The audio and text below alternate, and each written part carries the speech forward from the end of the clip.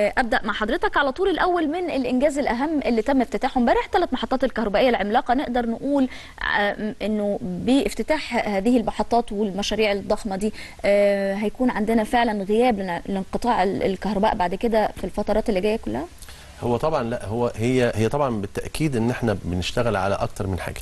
أول حاجة إن توفير ال- الانتاج لتلبية كل الاحتياجات آه مفيش تخفيف أحمال.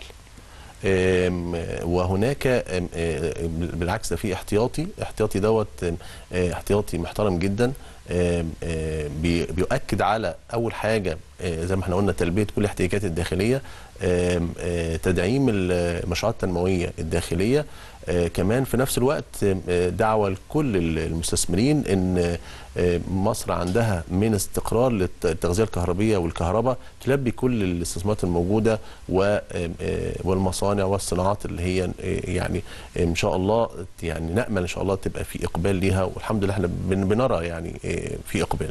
طيب آه، آه، بقى عندنا قد إيه طاقة كهربائية يعني بالضبط على مستوى الجمهورية. خلينا نتكلم الأول عن ال- الاستهلاك الحالي الموجود عندنا دلوقتي كام وبعد كده الاستهلاك اللي إحنا بنتكلم عنه للمحطات دي فهيبقى الفائض عندنا قد إيه وممكن نستخدمه كمان في إيه؟ يعني إحنا خلينا نقول مثلا مثال حي النهارده. النهارده إحنا ال- ال- الحمل الأقصى اللي, وصل طبعا نظرا لارتفاع درجة الحراره وصلنا ل 31400 ميجا وات.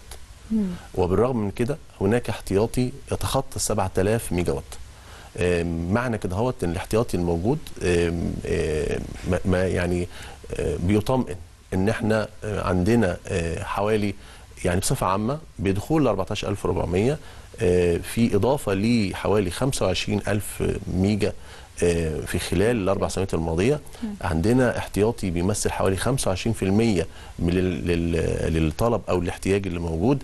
آم، بالإضافة إلى يمكن يمكن برضو في جزء مهم إن إحنا آه، ما زلنا عندنا تحدي في تطوير شبكات نقل الكهرباء وتوزيع الكهرباء. إحنا شغالين فيها في خطط يعني محددة واضحة في خلال آه، يعني سنتين على السنة القادمة إن شاء الله تشهد هذه الشبكات طفرة وقفزة نوعية كبيرة جدا يعني.